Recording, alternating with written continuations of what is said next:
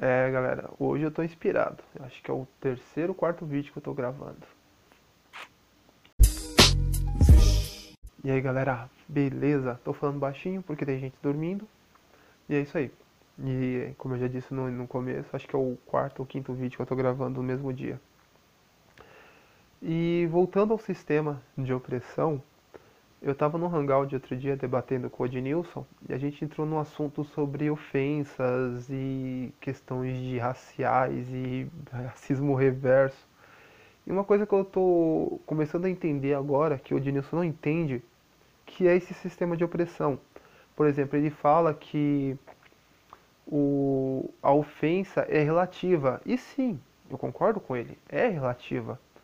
Só que você não pode comparar dois tipos de ofensa. Por exemplo, eu chamar duas pessoas, um branco e um negro, de filho da Xuxa, é, pode ser sim relativo, tá? Porque que acontece?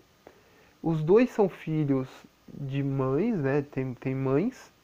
Eles não gostariam que essas mães fossem né, profissionais do sexo. Pelo menos eu acho que não.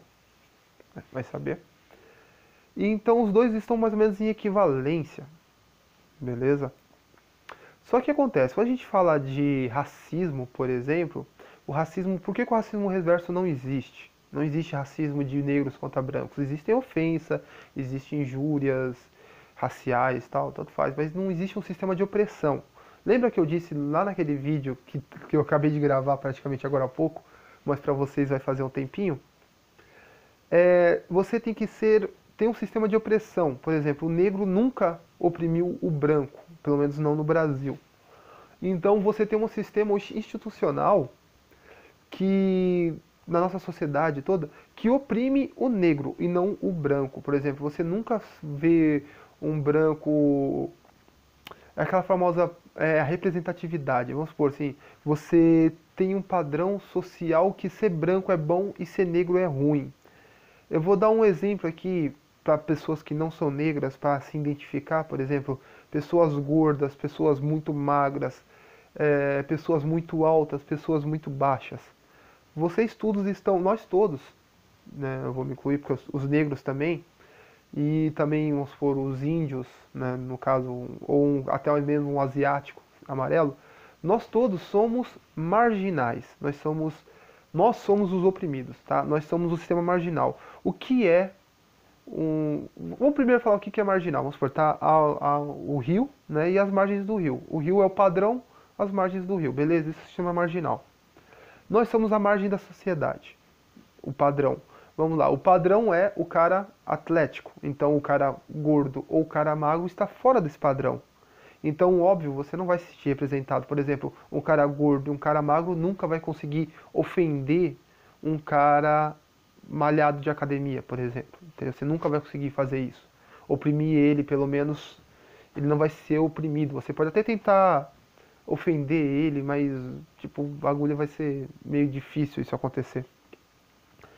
É, no caso, mulheres também. Mulheres têm muito disso. Acho que até é pior para a mulher, é, onde a autoestima dela vai lá embaixo, quando ela tipo uma mulher gorda, é xingada de gorda, é chamada de gorda. Xingada não, é chamada de gorda, porque no caso ela é gorda.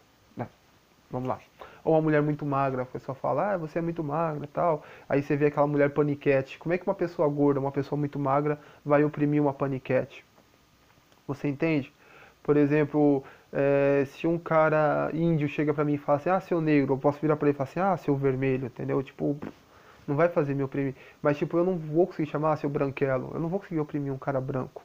Você entende? Porque existe todo um sistema de opressão institucional na sociedade, onde o branco é o padrão social, onde o magro, o magro não, desculpa, a pessoa atlética é o padrão social. Um, a pessoa de estatura média é o padrão social. Vamos supor, uma pessoa de 1,80 é, é o padrão social, mais ou menos, entendeu? Vamos supor, um cara de 1,60, 1,65, 1,60, vai chegar para um cara de 1,80, vai falar, e aí, seu gigante, entendeu? O cara vai virar para ele e assim, e aí, seu baixinho, é, pintor de rodapé, entendeu? Como é que você vai oprimir um cara de 1,80m com a altura dele? Nunca que você vai conseguir fazer isso. Você pode tentar oprimir com outras coisas. Por exemplo, o Ednilson deu um, um exemplo quando eu falei do cara malhado. Ele falou, ah, você pode chamar o cara que tem pinto pequeno. Sim, porque você ter pinto grande é o padrão social, entendeu? É o, é que as pessoas desejam. As pessoas desejam ter um membro maior e não um membro menor. As pessoas desejam serem brancas, entendeu? Muitos negros querem serem brancos quando eram criança. Eu já perguntei por que quando eu era mais novo, por que quando eu nasci branco, aí eu queria ser branco, isso, aquilo, outro. Hoje em dia não. Né? Eu apenas reconheci esse padrão de sistema e aceito ele das maneiras que devem ser aceitadas e combato ele do jeito que eu posso. Beleza? E é isso que você deve fazer. Né? Caso você seja um oprimido ou não. E se você é um opressor, você deve aceitar que você é um opressor e tentar diminuir isso. Beleza? Até a próxima.